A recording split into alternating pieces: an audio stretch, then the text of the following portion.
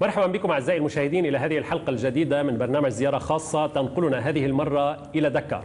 جئت إلى هنا إلى السنغال لألتقي بسيدة نذرت حياتها لنشر الإسلام وتنشئة هؤلاء الأطفال على الدين الحنيف. ولكنها لعبت أيضا ادوارا سياسية حيث قامت بوساطة مثلا بين السنغال وإيران أو بين السنغال والسودان. يسعدني أن أستضيف في هذا البرنامج السيدة مريم إبراهيم نياس. أعوذ بالله من الشيطان الرجيم. بسم الله الرحمن الرحيم.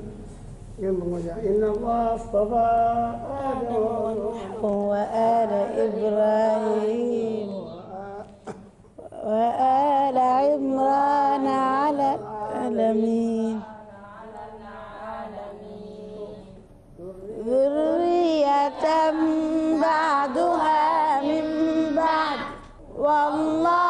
سميع عليم.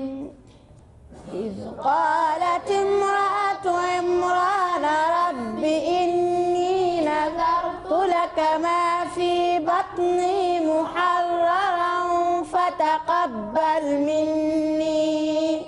إنك أنت السميع العليم.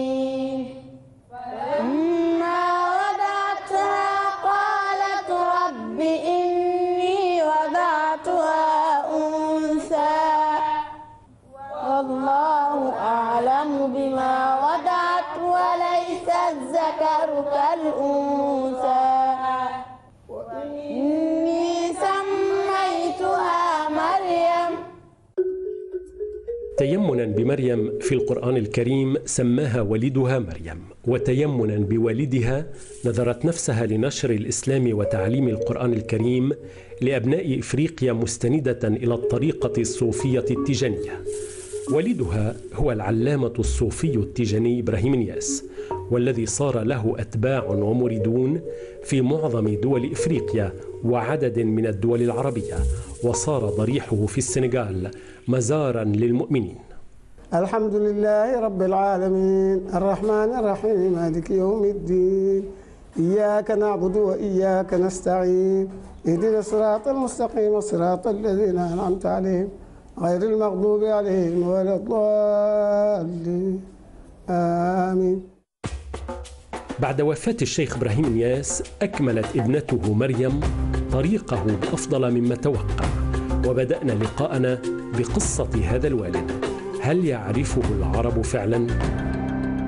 يعرفون كثير لأن والدي هو الحمد لله الذي هدانا لهذا وما كنا لنهتدي لولا أن هدانا الله. الصلاة والسلام على خير خلق الله سيدنا محمد عليه الصلاة والسلام. هذا النون أو أمسك بغير حساب. والدي معروف في عالم العربي كله. شيخ الإسلام شيخ حاج إبراهيم. لأنه كان عضو تأسيس في رابطة العالم الإسلام. سبعة الذي أسسوا رابطة واحد منهم. هو واحد من السبعة. نعم الذي أسسوا رابطة العالم.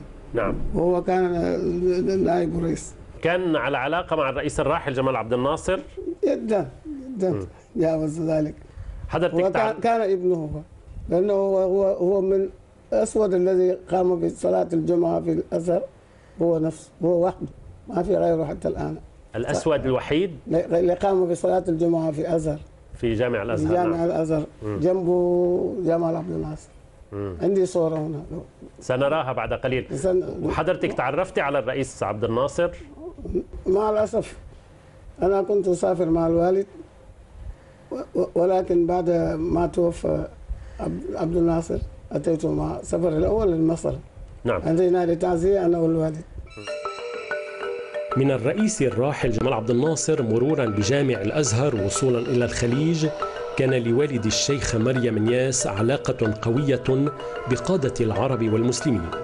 وقد لا يوجد إفريقي واحد أو حتى مغاربي لم يسمع باسم إبراهيم نياس.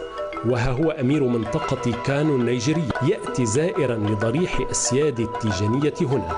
تماما كما يأتي مريد موريتاني سنغالي يتعلم ثم يعلم عند الشيخ مريم علي حقا لبست أي تلبيسي أشيخ تربية أم شيخ تدريسي؟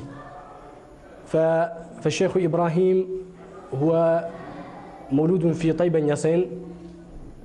مكان سقوط رأسه هناك من والده الحاج عبد الله ووالدته السيدة عائشة تربى في بيت علم وشرف وكرم وجاه ووالده جاهد الاستعمار الفرنسي ونفوه إلى غامبيا ورجع بعد ذلك واشتغل بتدريس آه، العلوم الشرعية والفقه والتصوف. هناك تربى الشيخ على يد والده ونهل من علومه ما لم ينهل أحد من تلامذته الذين كانوا يتوافدون عليه من جميع أقطار البلاد. فكان الشيخ منذ هو يافع بانت فيه بان فيه أنه رجل سيكون له مستقبل زاهر.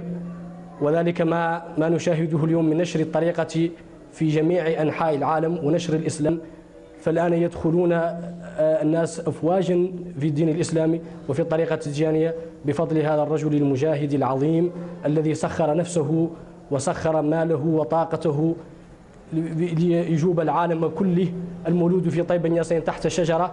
ذهب حتى بكين حتى الصين حتى بنغلاديش حتى كل الأماكن. يقول كراشي بها خلفت أهل مودتي هم نصروا دين النبي فعالا. قد اعتصموا بالحبل حبل محمد رجالا وأطفالا نسا وكبارا.